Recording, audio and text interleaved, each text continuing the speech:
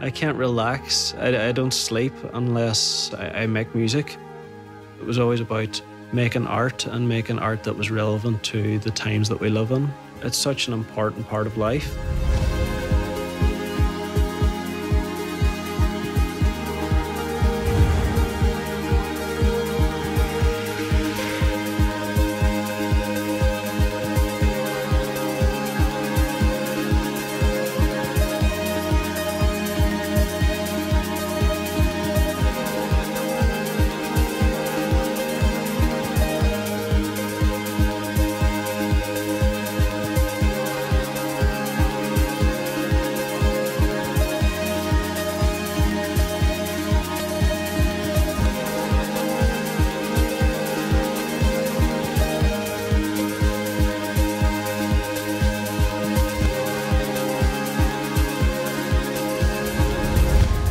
Like it would be hard to argue that it's not the strongest music scene there's been in the last kind of twenty odd years.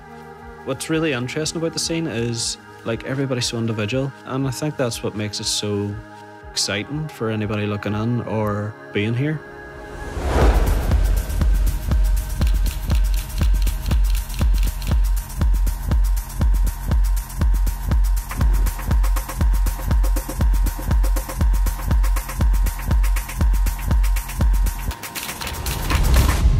Other Voices for me, it would mark the start of my career. It's not just like a festival, it's more of like a, a musical family.